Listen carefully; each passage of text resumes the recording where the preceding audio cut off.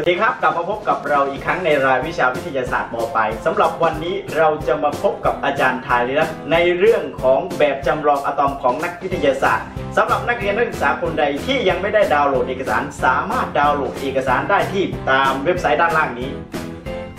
สำหรับวันนี้เราจะมาเรียนกันในเรื่องของแบบจำลองอะตอมของนักวิทยาศาสตร์ คุณคุณไหมครับอะตอมนะ ศัพท์คำนี้เราจะได้เรียนกันวันนี้นะอันดับแรกเรามาทราบวัตถุประสงค์ของการเรียนรู้วันนี้ก่อนนะครับ วัตถุประสงค์ก็คือให้พวกเราเนี่ยสามารถอธิบายลักษณะของแบบจำลองอะตอมของนักวิทยาศาสตร์ ก็คือของดอลตันและก็ของทอมสันนะครับพร้อมกันหรือยังครับ ถ้าพร้อมกันแล้วเราไปเรียนกับอาจารย์ทาริรัตน์ได้เลยหลังจากที่เราได้ทราบวัตถุประสงค์กันแล้วนะคะ ต่อไปเราจะมาเริ่มเรียนเรื่อง แบบจำลองอะตอมของดอนตันนักศึกษา พร้อมกันหรือยังคะ พร้อมแล้วครับถ้าพร้อมแล้วเรามาเริ่มกันเลยค่ะ เอ๊ะนักศึกษาทราบไหมคะ ว่าแนวคิดเกี่ยวกับอะตอมเกิดจากชนชาติไหน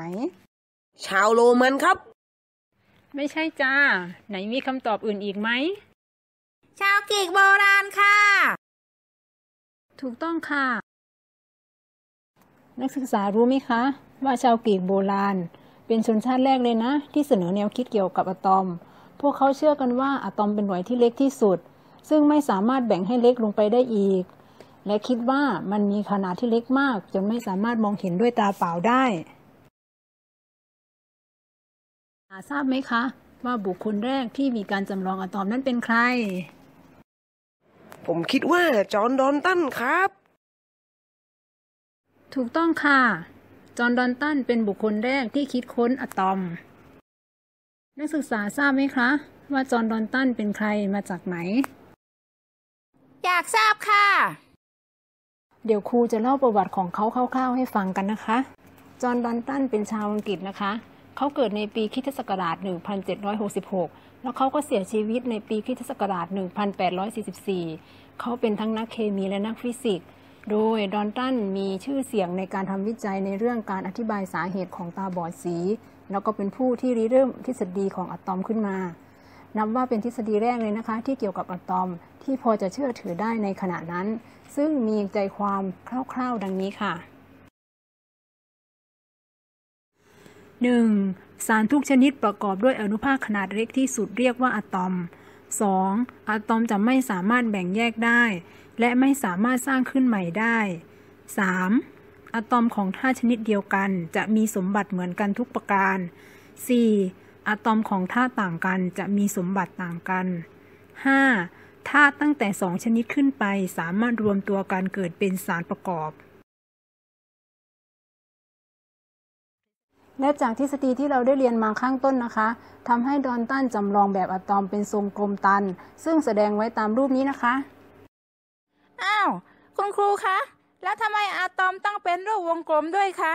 อืมครูคิดว่าเมื่อก่อนนี้นะคะ เครื่องมือทางวิทยาศาสตร์อาจจะยังไม่ค่อยพัฒนา หรือเทคโนโลยีอาจจะยังไม่ทันสมัยเหมือนอย่างเช่นทุกวันนี้ จึงทำให้ดอนตันมองเห็นสิ่งที่เล็กๆ แล้วเขาก็จินตนาการว่านั่นมันคือทรงกลมแบบนี้ค่ะอ๋ออ๋อพ่ออย่างนี้นี่เอง แต่อย่างไรก็ตามนะคะ ทฤษฎีของดอนตันช่วยให้นักวิทยาศาสตร์หลายคนในสมัยนั้น อธิบายลักษณะของสมบัติของอะตอมได้เพียงระดับหนึ่งเท่านั้น ต่อมาก็มีนักวิทยาศาสตร์ ได้ค้นพบข้อมูลบางประการที่ไม่สอดคล้องกับทฤษฎีอะตอมของดอนตัน อาทิเช่น อะตอมของธาตุชนิดเดียวกันอาจมีมวลแตกต่างกันได้ อะตอมสามารถแบ่งแยกได้อีก คุณครูครับ แล้วทฤษฎีใหม่ของอะตอมมีลักษณะอย่างไร ผมอยากรู้แล้วครับว่าใครเป็นคนจำลองอะตอมถัดไป แล้วแบบจำลองที่เสนอใหม่ มีลักษณะอย่างไรครับ ใช่ใช่ใช่หนูก็อยากรู้เช่นกันค่ะ งั้นเรามาดูเรื่องต่อไปกันเลยนะคะ จากแบบจำลองของทอมสันนะคะ เริ่มจากการศึกษาเรื่องการนำไฟฟ้าของแก๊สก่อน โดยนักวิทยาศาสตร์เขาจะทราบอยู่แล้วล่ะค่ะว่า แก๊สที่มีความดันสูงจะไม่สามารถนำไฟฟ้าได้ ในขณะที่แก๊สที่มีความดันต่ำมาก ๆ จะสามารถนำไฟฟ้าได้ค่ะ คุณครูคะ ช่วยเล่าประวัติของทอมสันให้หนูฟังหน่อยค่ะ เดี๋ยวครูจะให้พวกเราดูภาพนะคะ ว่าภาพใดคือแบบจำลองอะตอมของทอมสัน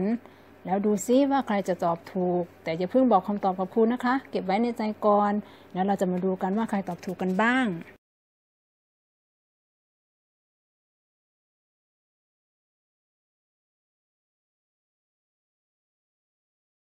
ทอมสันเขาเป็นนักวิทยาศาสตร์ชาวอังกฤษ เช่นเดียวกันกับดอนตันนะคะ เขาเกิดในปีคริสตศักราช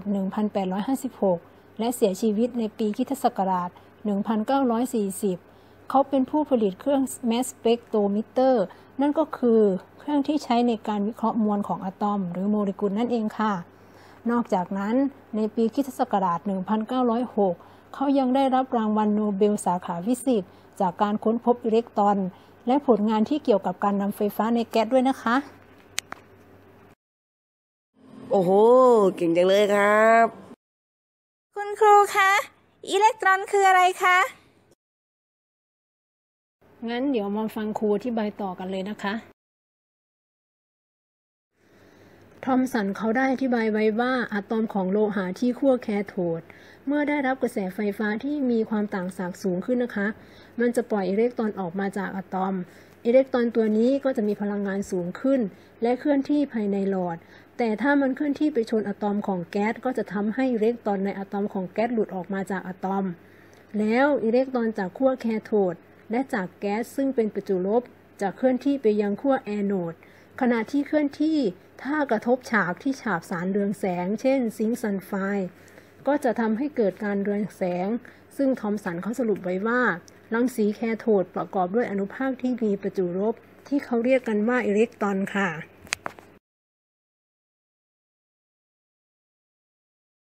คุณครูคะ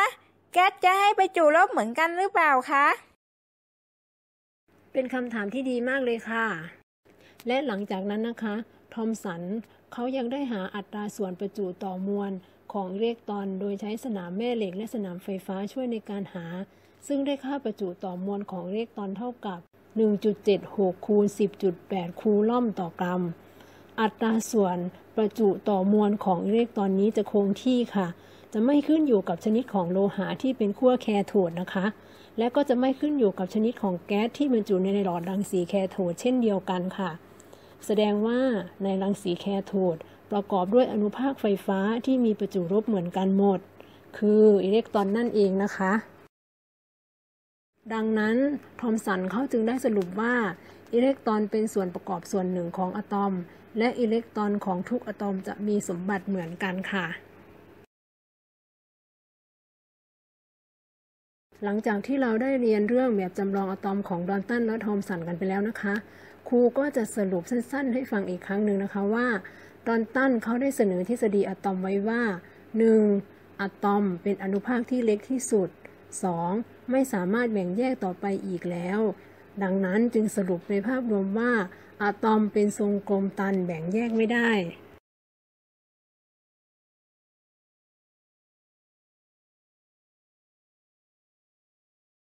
และสรุปแบบจำลองอะตอมของทอมสันได้ว่า อะตอมมีลักษณะเป็นทรงกลมนะคะ โดยมีอนุภาคประจุบวกที่เรียกว่าโปรตอน มีอนุภาคที่มีประจุลบเรียกว่าอิเล็กตรอน และอะตอมเป็นตัวกลางทางไฟฟ้าด้วยนะคะ หลังจากที่เราได้เรียนรู้เรื่องแบบจำลองอะตอมของจอห์นดอนตันและทอมสันจบไปแล้วนะคะ เพื่อเป็นการทบทวนความรู้อย่าลืมไปทำแบบฝึกหัดกันต่อด้วยนะคะ